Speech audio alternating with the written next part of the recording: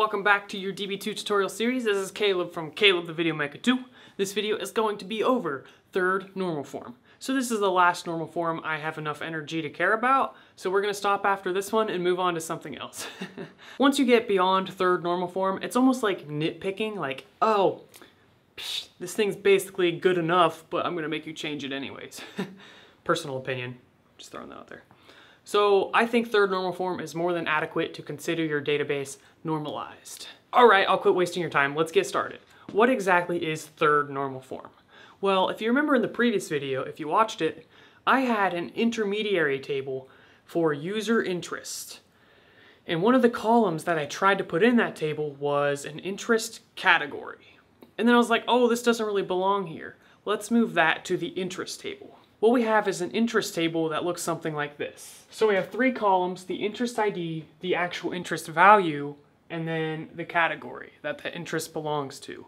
Like I said in the previous video, this could be a foreign key to a category table if you want to set that up. For now, you can just leave it as a varchar, for example, and just type in your category. And now let's say we add a column to this.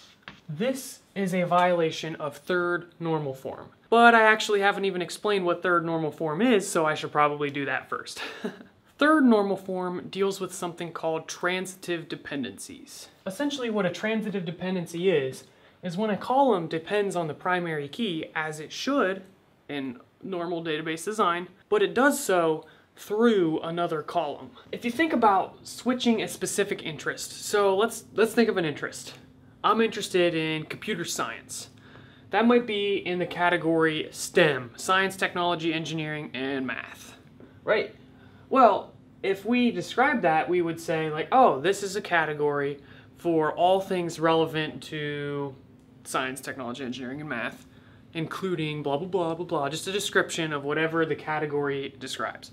And you can decide whether that description is useful or not, but for this example, assume we decided we're going to have a category description. Now, if we change the interest we're talking about to something else, like, you know, acrylic painting, well now we're going to be talking about art. So the category might be art.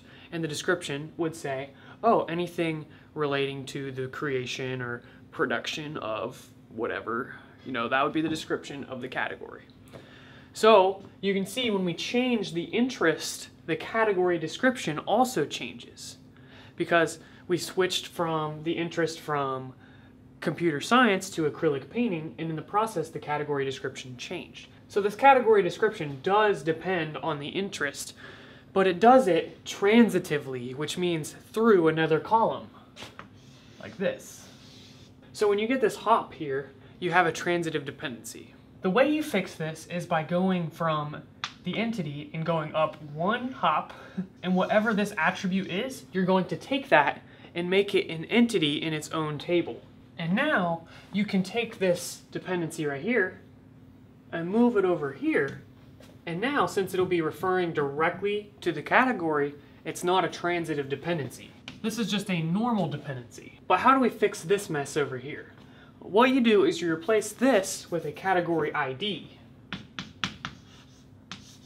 And that is going to reference this category ID over here. So that's your foreign key reference.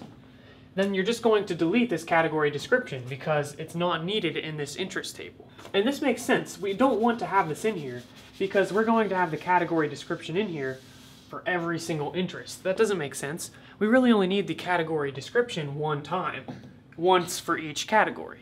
So that is how you fix third normal form and get rid of transitive dependencies.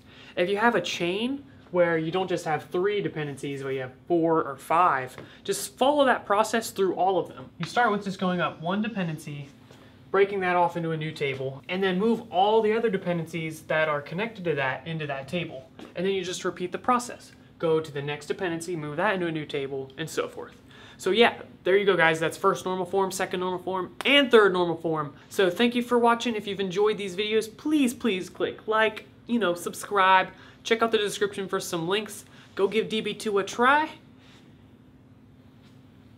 I'm out of things to say. So I will see you in the next video. Peace.